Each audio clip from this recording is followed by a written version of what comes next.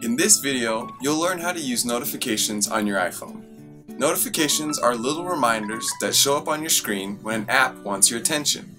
When someone sends you a text, for example, and your phone vibrates and a badge appears on your screen, that's a notification. Setting up notifications makes sure you see only the ones you care about and lets you control how they appear on your phone. This way, you don't get overwhelmed with notifications you don't care about.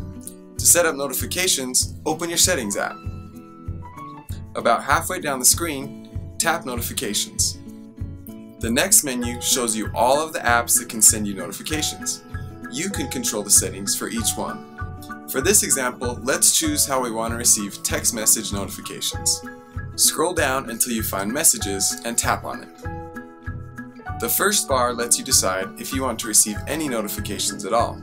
If you don't want to receive any notifications at all from an app, tap the white circle so the green goes away. We want to be notified when we get a text, so make sure the button on the right is green. The next option on the list says Show in Notification Center. Let's talk about what that is. You can access Notification Center at any time from any screen by swiping downward. A list will appear of all of your recent notifications. These could be missed calls or upcoming calendar events. If you would like to see notifications in the Notification Center, make sure the button is green. The next option you can customize is sound. Select it and a large list of sounds will appear. You can click through them and preview each one until you find one you like. After choosing a sound you like, tap Messages in the top left corner to return to the notification menu. The next options let you choose the style of notification. The first option is the badge.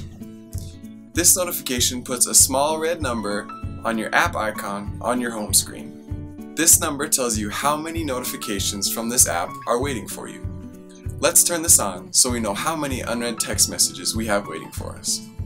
The second option is Show on Lock Screen. If you turn this on, notifications will show up on your lock screen. Let's turn this one on so we can see if we have any missed text messages without having to unlock our phone. Finally, you can choose your notification style for when your phone is unlocked. The first option is None. This will prevent any notifications from showing up on your screen while you're using your phone. The second option is Banner.